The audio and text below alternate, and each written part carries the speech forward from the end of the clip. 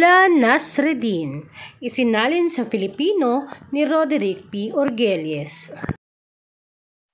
Si Mula Nasreddin na kilala bilang Mula Nasreddin o MDN ang pinakamahusay sa pagkukwento ng katatawanan sa kanilang bansa.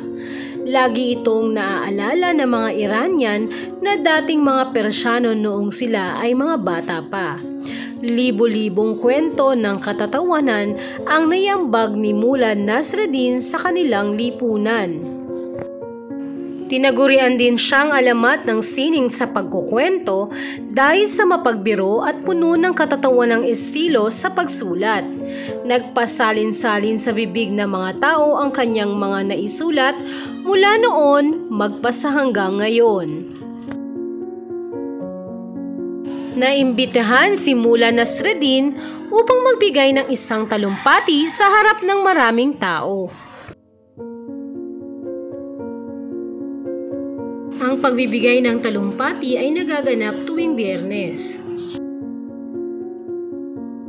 Sa kanyang pagsisimula, naitanong niya, Alam ba ninyo ang aking sasabihin?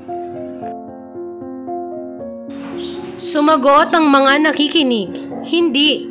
Kung kaya't kanyang sinabi, wala akong panahong magsalita sa mga taong hindi alam ang aking sasabihin. Siya'y umalis, napahiya ang mga tao. Inanyayahan siyang muli upang magsalita kinabukasan.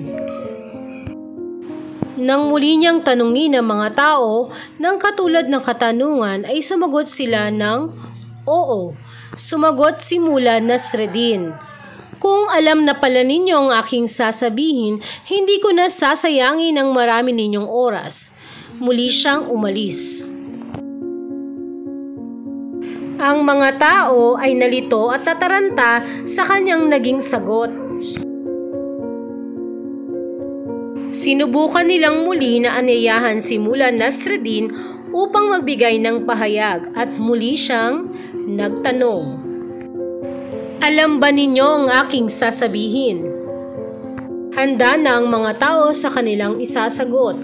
Ang kalahati ay nagsabi ng hindi at ang kalahati ay sumagot ng oo.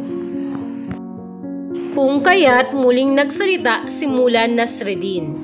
Ang kalahati ay alam ang aking sasabihin, kaya't kayo ang magsabi sa kalahati na di alam ang aking sasabihin. At siya ay muling lumisan.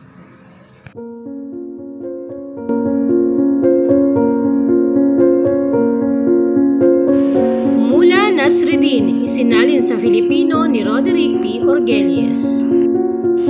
Nais patunay na akda na walang masamang magbahagi